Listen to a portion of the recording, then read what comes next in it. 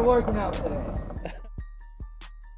Don't ask me no questions. I won't tell you no lies. And to my surprise, what's happening, mama?